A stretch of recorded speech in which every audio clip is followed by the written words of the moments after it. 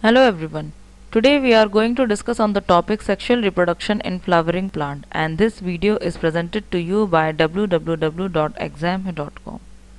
So as in our previous video we have discussed about the male reproductive part and how the uh, male gametes were formed in the flower. So now we are going to discuss the female reproductive part which is gynoecium and gynoecium consists of pistil. So this is the diagram of a pistil. Pistil has three parts stigma, style and ovary. Stigma is the landing platform for pollen. So after the pollination when the transfer of pollen take place the pollen were tra uh, transferred and deposited over the stigma. Beneath the stigma is elongated cylinder part, uh, part which is called style. This is style. Beneath the style present the basal bulged part of the pistil which is called ovary. Ovary consists of ovule which have female gametophyte. Okay. So if the single pistil is present in the flower it is called monocarpellary and if more than one pistil is present in the flower it is called multicarpellary if the more than uh, one pistil is fused together is called syncarpous. As you can see in this diagram more than one pistil is fused together. So this is syncarpous and if more than one pistil remains free then it is called apocarpous as you can see in this diagram in this picture of flower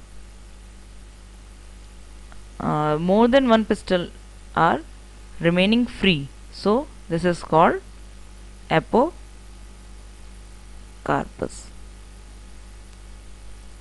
okay.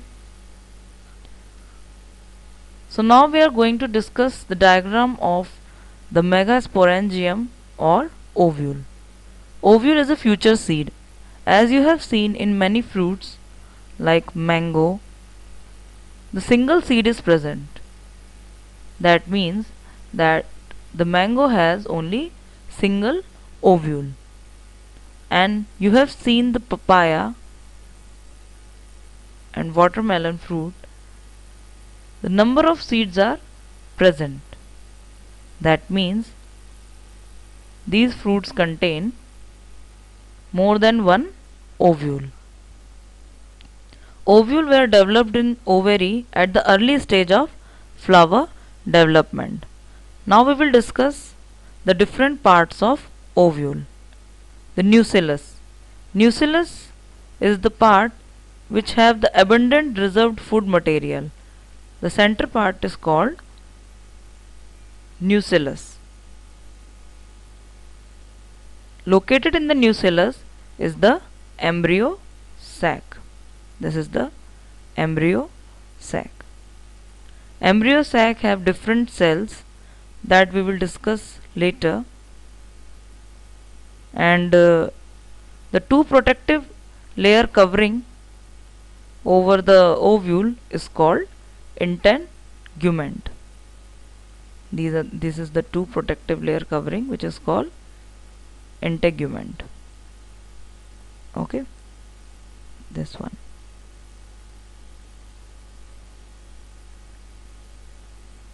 This is the two protective layer covering. Okay? So ovule is attached to the placenta by a means of a stall called funiculus. This part is called funiculus to which the ovule is attached to the placenta.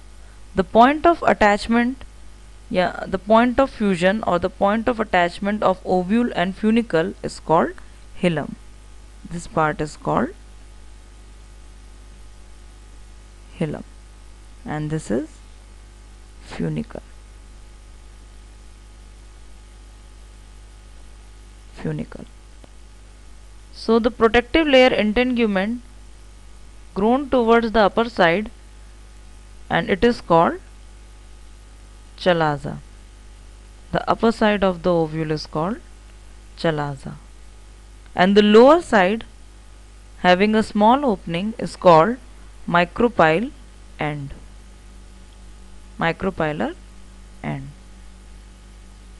okay ovule fuses with the funicle forming a sort of ridge. Is called raphe this ridge is called raphe okay. So depending upon the configuration and orientation of the body of ovule in relation to the funicle, six type of ovules are present. First of all, orthotropous, orthotropous in which the micropylar end is present on the upper side. This is the micropylar end present in the upper side and the chalaza is present at the lower side. The second one is anatropous which is inverted in which the chalaza is at the upper side and the micropylar end is at the lower side. This is the micropyle end. And this is after which uh, the next uh, diagram is hemitropous hemitropous is half inverted. So this part is chalaza. And this opening is micropyle end okay. And the fourth one is campylotropous in which the body is curved. But the embryo sac remain the same. Only the body is curved. So this is the micropyle and this is chalaza amphitropous in which the body and the embryo sac both are curved see in this the embryo sac is also curved and the body is also curved so this is the micropyle end and this is this one is Chalaz. Circinotropous in which funicus coiled around the ovule. This funicus is coiled around the ovule. This is the ovule and this is funicus which is coiled around the ovule. So this is the micropyle and this is Chalaz. So 90% of flower has anatropous ovule which is the most common type of ovule present in all flower. Now we are going to discuss how the formation of female gametophyte or the embryo sac take place. So with the diagram this is the micropylar so in the micropylaran present a single cell which is called archesporial cell. This is archesporial cell which will further divide and form this will divide and form the inner sporogenous cell this is the inner sporogenous cell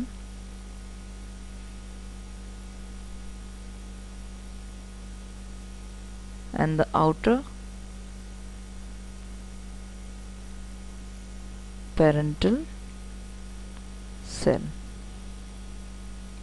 Now this sporogenous cell is the diploid megaspore mother cell. This have uh, a 2n number of chromosome having the two sets of chromosome this is also called megasporocyte now this diploid uh, megaspore mother cell will enlarge and will again divide and forming a linear tetrad after meiosis. Now this tetrad is haploid that is having a n number of chromosome half the number of chromosome. So after which the three of the megaspore cell will degenerate only the one will remain functional megaspore functional megaspore so this single functional megaspore is the first cell of female gametophyte or embryo cell this is developed from the sporogenous cell okay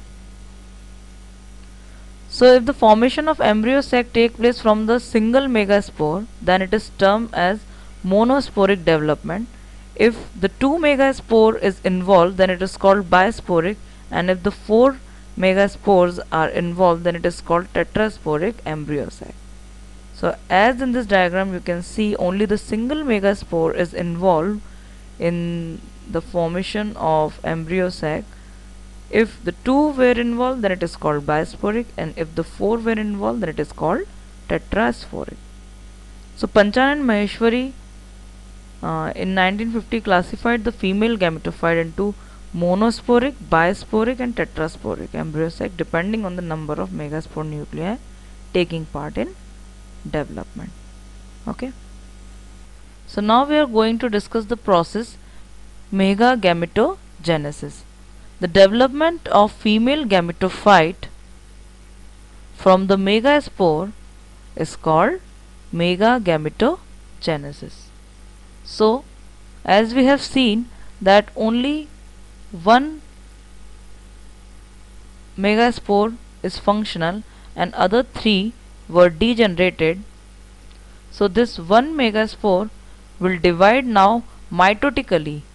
First from the diploid megaspore mother cell it is converted into haploid uh, megaspore cell by the process of meiosis now the mitotic division will take place in which the cell will divide into two so this cell will divide into two. These three were degenerated and uh, now it will become a two nucleated embryo sac two nucleate embryo sac in which the one nucleus will move towards the micropyland and the other one will move towards the Again the mitotic division will take place and these two will again divide to form a 4 nucleus. This will again divide forming a 4 nucleus. Again the division will take place and each of them will further divide forming 8 nucleated stage. This will further divide forming 8 nucleated stage. Now the three of them will migrate towards the chalaza. Three of them will remain in uh, and two of them will be at the center called polar nuclei. Polar nuclei. So there's three at the chalaza land. These three at the micropylar end micropylar end and these two center nuclei is called polar nuclei plasma membrane and cell wall then develop around all the nuclei excepting the two at the center so the plasma membrane and the cell wall will develop uh, over the nuclei except at the center one.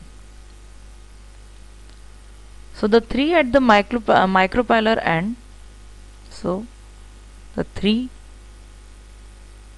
at the micropylar end forming a egg apparatus. This is the micropylar end. The egg apparatus having the center one egg cell or oospore the other two were the synergid cell or helper cell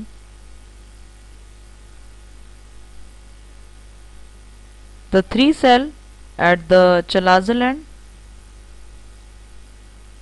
is called antipodal cell antipodal cells